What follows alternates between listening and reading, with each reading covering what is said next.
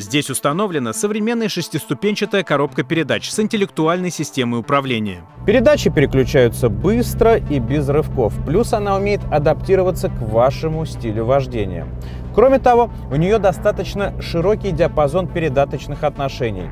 Например, короткая первая передача, что опять же обеспечивает хорошую тягу на бездорожье, а также быстрый старт с места, что немаловажно в условиях городского трафика.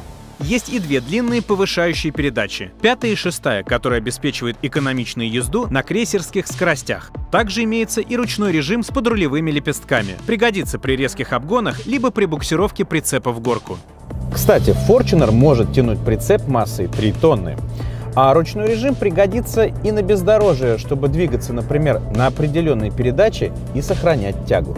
К слову о тяге, у силового агрегата есть два дополнительных режима движения – экономичный эко и Power для лучшей динамики. В эко кондиционер переходит в щадящий режим работы, а педаль газа становится более задемпфированной, что как раз и позволяет экономить топливо. В режиме Power двигатель более отзывчив на перемещение педали акселератора, а автомат меняет алгоритмы смены передач для более эффективного ускорения.